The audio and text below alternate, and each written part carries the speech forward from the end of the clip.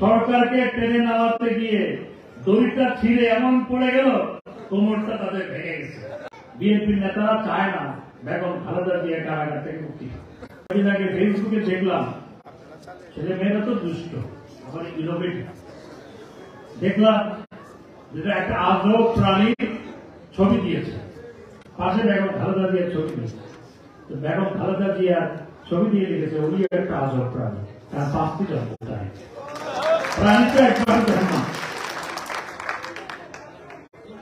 আমি বেগম খালেদা জিয়ার সম্পর্কে বলতে চাই না। প্রথমত তিনি শাস্তিপ্রাপ্ত আসেন জননেত্রী শেখ হাসিনার প্রধান্যতায় তিনি এখন ঘরে আছেন এবং মাঝে মধ্যে বিএনপি নেতারা বলেন, কিছুদিন আগে কি বলেছিলেন? যে বেগম খালেদা জি এমন অসুস্থ, ওনারা যদি বিদেশ নেওয়া না হয়, উনি মারা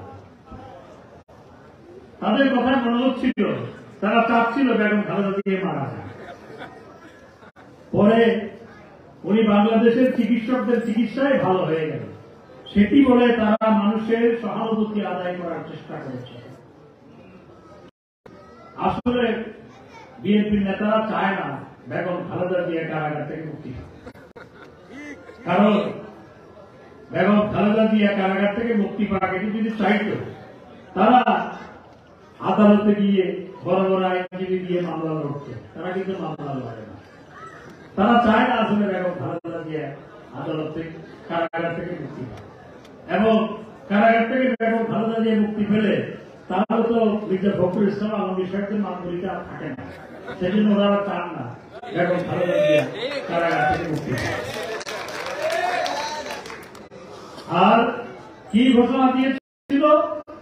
দশই ডিসেম্বর ঘোষণা দিয়েছিল যে সরকারকে তারা টেনে নামিয়ে ফেলবে। সরকারকে টেনে নামাতে গিয়ে দড়িটা ছিঁড়ে এমন পড়ে গেল, কোমরটা তাদের ভেঙে গেছে। এরপরে মির্জা আব্বাস আর ফখরুল সাহেব জেলখানা থেকে বেরিয়ে বলল, আমরা সরকারকে আসলে টেনে নামাতে চাই ওনারা কথা লাইনে আসছিল প্রথমে বলেছিল, টেনে নামাতে চায় তারপর ওনারা তাদের অফিসে বোমা রাখার অপরাধে, পুলিশের উপর হামলা করার অপরাধে, তাদের নেতৃত্বে হামলা হওয়ার অপরাধে তারা যখন পুলিশ গ্রেপ্তার করল, মুক্তি পাওয়ার বলল, মির্জা আব্বাস ফখরুল সাহেব বলল, আমরা আসলে টেনে নামাতে চাই না। আসলে টেনে নামাতে গিয়ে কোমর ভেঙে গেছে তো সেই জন্য বলে এখন আর টেনে নামাতে চাই না। এখন কোনো ইস্যু নাই। বেগম খালেদা জিয়ার অসুস্থতার ইস্যু, হালে পানি পায় না দশই ডিসেম্বর বড় একটা অশ্বনিম্ন পেরেছিল এবং তাদের আন্দোলন, তাদের আন্দোলনে তাদের নেতারা ও কর্মীরাও সাড়া দেয় না এখন কোনো ইস্যু নাই। এখন রোড অ্যাক্সিডেন্টের মধ্যে গেছে। এখন গেছে রোড অ্যাক্সিডেন্টের মধ্যে। কালকে বিবৃতি দিয়ে আপনার মির্জা ফখরুল সাহেব বলেছেন, আমাদের সাধারণ সম্পাদক এবং সরকারের মাননীয় সড়ক সেতু মন্ত্রণালয়ের মন্ত্রী পদত্যাগ দাবি করেছে আজকে সমগ্র দেশে সড়কের যে উন্নয়ন, জননেত্রী শেখ হাসিনার নেতৃত্বে, সেই মন্ত্রণালয় হচ্ছে সড়ক ও সেতু মন্ত্রণালয় যেই মন্ত্রণালয়ের মন্ত্রী জনাব ওবায়দুল কাদের। আজকে যে পদ্মা সেতু হলো, সেই পদ্মা সেতু সড়ক ও সেতু মন্ত্রণালয়ের অধীনে বাস্তবায়িত হয়েছে। আজকে যে কর্ণফুলী টানেল, সেটিও সড়ক ও সেতু মন্ত্রণালয়ের অধীনে হয়েছে। আজকে যে মেট্রো রেল, সেটিও সড়ক ও সেতু মন্ত্রণালয়ের অধীনে হয়েছে।